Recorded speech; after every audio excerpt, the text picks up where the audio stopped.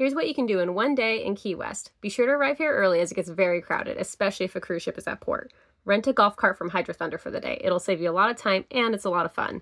Take a picture at the southernmost point marker, but again, get here early as it gets very crowded. Eat some good Cuban food. Our favorite is at Frita's Cuban Burger. And tour the dog-friendly Key West First Legal Rum Distillery and enjoy a cocktail to go. Try a slice of chocolate-covered key lime pie from Key West Pie Company and be sure to do some souvenir shopping too. And end the day by enjoying a beautiful Key West sunset.